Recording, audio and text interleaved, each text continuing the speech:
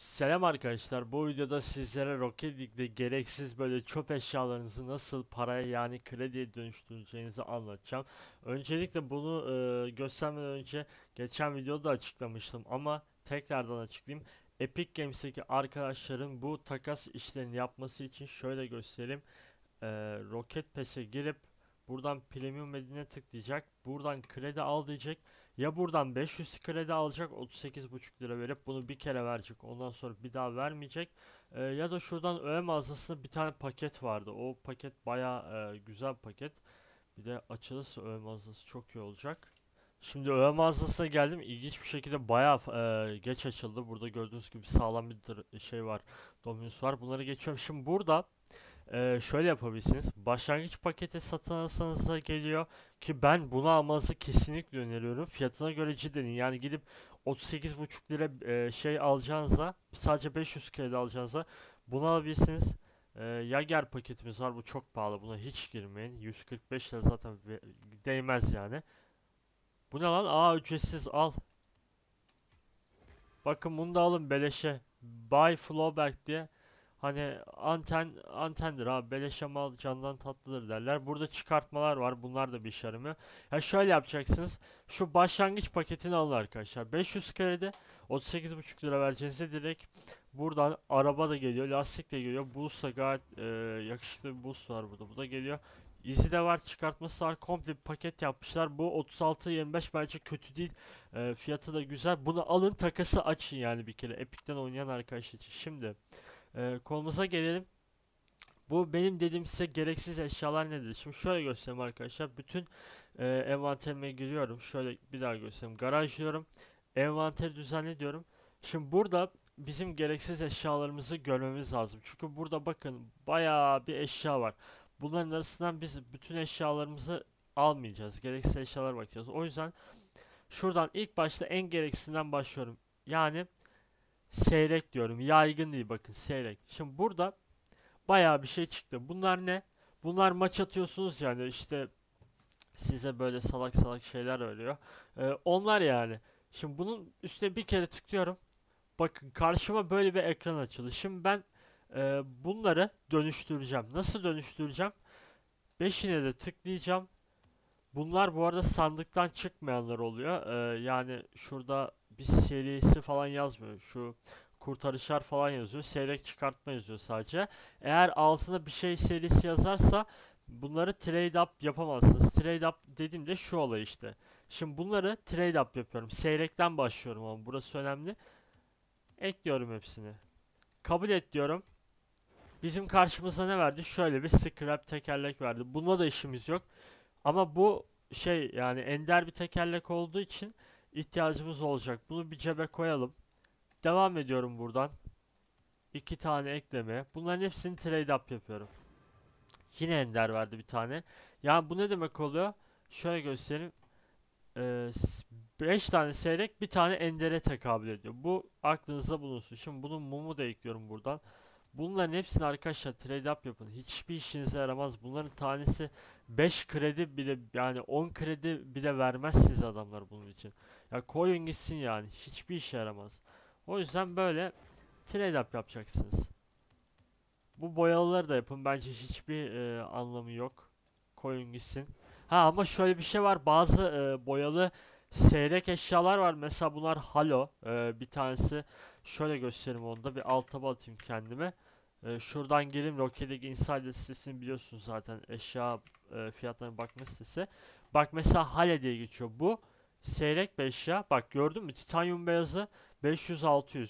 Yani bunlar böyle seyrekler değerli. Her seriye de böyle şey yapmayın yani. Trade'e atmayın. Bakın fiyatına. Ama bunlar zaten e, görünüşünden de belli olduğu üzere şeyleri kötü olduğu için direkt koyuyorum trade'e. Şimdi kaç tane kaldı elimizde? Bitti değil mi?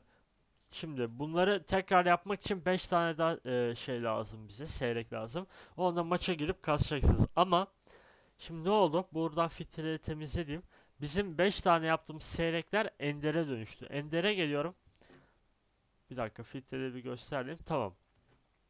Şimdi burada bakın Aftershock. Yanında ender tekerlek yazıyor daha doğrusu aşağısında serisi yazmıyor. Bu ne demek? Bunu ben trade up yapabilirim. Bakın tekrar açıldı trade up ekranı. Buraya tıklıyorum. Bakın şimdi bize ne verecek bunları trade up yaptığımız zaman. Bir tane çok nadir tekerlek verdi. Ya bu ne demek oluyor? 5 tane seyrek, bir tane ender, 5 tane ender, bir tane çok nadir. Şimdi bu e, başka bir deyişle şöyle açıklanabilir. 25 tane seyrekte bir tane çok nadir ediyor. Bunu aklınızda tutun. Bir tane çok nadirinde ne anlama geldiğini söyleyeceğim birazdan. Ee, şimdi burada ne diyor? Takas edemez diyor. Bunları takas edemiyoruz. Bak bu da olmuyor. Niye olmuyor? Çünkü serisi var. Hayaletli bayram serisi diyor. Eğer bir eşyanın yanında serisi yazarsa siz bunu trade up yapamazsınız. Bu da e, bir dipnot olarak geçeyim. Şimdi burada bakın bunun mesela serisi yok. Yapabilirim bunu. Bakıyorum doldu. Şimdi yine 3 tane arttı. Ama bize 2 tane çok nadir olarak geri dönüşü oldu. Şimdi buradan tekrar envanter düzenleyip geliyorum. Filtre göster diyorum. Burada kalite çok nadir diyorum. Şimdi bize bu sefer çok nadirleri gösteriyor. Şimdi burada bakıyorum. Benim e, gördüğünüz gibi altın ediyor 19 serisi diyor. Tıklıyorum. Bak takas edilemez diyor. Bunları e, hiçbir şekilde e, nasıl diyeyim pazarlayamıyorsunuz. Yani şuradan takas olanlara bakacağım. Mesela bu bak yanında serisi yazmıyor. Hiçbir şey yazmıyor. Buna tıklıyorum. Allah Allah niye takas edilemez dedi. Buna tıklıyorum. Ha tamam oldu okey. Şimdi kaç tane var? 1, 2, 3, 4, 5. 1, 2, 3, 4. Bir tane çok nadirimiz artıyor. Sıkıntı yok. Ee, onu da kapatacağız açımızı. Ama şöyle yapalım. Ee, buradan ilk başta bunların fiyatlarına bakın. Mesela arabayı satmayın. Bu x2 sırayı e, şey yapabilirsiniz. Şimdi bunları böyle doldurup trade up mı yapacağız ve kabul ete mi basacağız? Şöyle tabii ki de hayır basmayacaksınız. Niye? Çünkü bunu yaptığınız zaman şöyle bir şey oluyor. Ee, yani genelde kötü eşyalar çıkıyor ama hani 40 yılda bir 40 yılda bir demeyeyim de böyle yüzde bir şansı 100 150'de bir şansla Titanium White Octane tarzı böyle değerli harbiden çok sağlam e, parası bol itemler çıkabiliyor ama bunlar şans işi yani işimizi biz garantiye bırakmayacağız arkadaşlar. O yüzden buradan ne yapacağız bakın şöyle göstereyim. Bunlar NCVR diye geçer. Şuradaki gördükleriniz. Yani non-crate very rare'dir. Türkçesini çevireyim. Sandıktan çıkmayan çok nadirdir. Şimdi bunların fiyatlarına bakıyorum. Mesela şuradan e, X2 sıra diyelim. Bakalım. X2 X2 sıra. Ne kadarmış? 30-50. Şimdi biz bunu kaç okutacağız? Bir de bu olayı var işin. Şimdi bunu elde ettik eyvallah ama kaç okutacağız? Şuradan trading'e geliyorum. Rocket garaj sitesini biliyorsunuz zaten. Bahsetmiştim videolarımda. Buraya geliyorum. Şimdi buradan mesela X2 sıramız var, vulkanımız var, sıcak kayalarımız var. Bunları aklımıza tutalım. X2 sıra yazıyorum ilk başta. Sertifikası yok, rengi yok, serisi yok. Serisi ne yok? Çünkü non-crate verileri olduğu için yani NC veri olduğu için platformu Steam Epic eğer PlayStation'sanız bunu Xbox'sanız bunu Nintendo'ysanız bunu seçin. Bu arada bu gösterdiğim yöntem bütün e, şeylerde platformlarda aynı yani uygulamasını benim yaptığım gibi yapacaksınız. Steam Epic seçiyorum. Buradan şimdi bize diyor ki ben bu eşya istiyor muyum? Bu eşyaya sahip miyim? Şimdi ben buna tıklayacağım. Niye buna tıklayacağım? Çünkü ben fiyatı burada almam lazım. Eğer ben ben bu eşyayı sahibim diye e, tıklayıp fiyat alırsam bu sefer adam bu eşyayı e, istemek için ilan verdiği için ucuza verecek. Biz ne yapacağız? Yani kurnaz olacağız bir nevi. O yüzden buradan apply filter deyip e, I want this item deyip şey yapıyoruz. Şimdi bakın burada credit offer diyor. Bunu geçin. 30 kredi vermiş mesela. Ee, bakalım 20 tanesine 290 kredi vermiş. Yani 30 kredinin biraz altında. İkisine 70 kredi vermiş. Ee, 20 yani bunun olayı 30 kredi, 40 kredi, 20 kredi arası değişiyor ama 30 krediye koymasız. Bak adam mesela 40 kredi vermiş. Bu büyük ihtimal e, zor gider. Ya böyle ilanlar da gidiyor bu arada pahalıya konulduğunda ama e, geç gidiyor. Yani vakitinizden falan çalıyor. Gerek yok. 30 kredi iyidir. Ya bu ne demek oluyor? Bir tane non-credit verileri ortalama 30 kredi. Şimdi size bir de çok satılan non-credit e, verileri göstereyim. Şuradan mesela e, Hearts olabilir. E, Rocket Boost olan Hearts bu arada. Bu ne demek? Bu e, yani başka bir veri çok popüler. Bak bu mesela 50'ye gidiyor. Bunların hepsi non-credit verileridir arkadaşlar. Hearts, Ink, Magnus, Sniper. Bunları siz kaça koyacaksınız? Şöyle söyleyeyim. Benim tavsiyem alırken 3'e 1 alın. 3'e 1 ne demek? Şöyle söyleyeyim. 3 tane non credit verir. E, 100k satarken de 2'ye 100 olarak satın. Yani bu ne demek? 2 tane credit verir 100 kredi. Böyle gereksiz eşyalarınızı paraya dönüştürebilirsiniz. Krediye dönüştürebilirsiniz.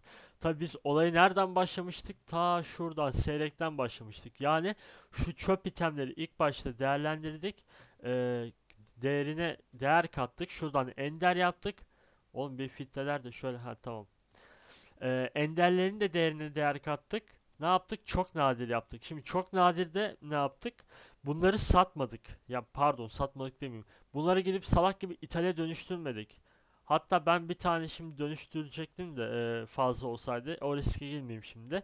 E, bu, çünkü pahalı yani non-credit verilerde. Bunları dönüştürmedik. Ne yaptık? Akıllı bir şekilde buradan geldik. Satacağız bunları. Ne yapacağız? Dediğim gibi. Burada e, çok dikkat edin şuna arkadaşlar. Şurada bakın. E, sıcak kaleler çok nadiriz. Ya, yanında serisi olmayacak. Yani şöyle Şampiyonlar Birliği serisi ya da Nitro serisi yazmayacak. Bu şekilde olacak. Bu itemleri de e, alırken 3'e 100 olarak ya yani 3 tanesi 100 kredi olarak alacaksınız. Satarken de 2 tanesi e, 100 kredi olarak satacaksınız arkadaşlar. Bunu da söylemiş olayım. E, çok nadir itemlerin listesini de şöyle görebilirsiniz. E, sandıktan çıkma NCV'li olarak geçen. Mesela Frostbite, Hearts. Buraları SS alırsınız. Bunların hepsi NCV'lidir. E, şu büyük ihtimal NCV'li değil diye biliyorum ama yani bayağı bir şey var yani. Mesela şunlar var. Ee, ama dediğim gibi en popülerleri şunlardır. Bunları almaya bakın. Ee, bunların ilanını işte dediğim gibi 3'e 100'den koyun. Ee, biraz uzun bir video oldu. Sıktıysam da kusura bakmayın ama bunları e, üstünden geçmem lazımdı. Önemli bir konu. Yani gidip böyle paranızı paranızı demeyeyim de e, gereksiz eşyaları böyle aman koy gitsin diye bir şey yapmayın. E, çok nadirlerinizde gidip böyle hani bir an tutar diye böyle Titanium White diye şey yapmayın arkadaşlar. E, kredinizi de çöpe atmayın. Bugünlük benden bu kadar olsun arkadaşlar. Ee, videoyu beğendiyseniz beğenmeyi unutmayın. Yorumada herhangi bir sorunuz varsa da video fikriniz varsa yazabilirsiniz. Ayrıca Instagram hesabımı da takip etmeyi unutmayın. Orada da videoları duyuruyorum. Ve son olarak da Discord'a gelmeyi unutmayın. Şimdilik hoşçakalın. Görüşürüz.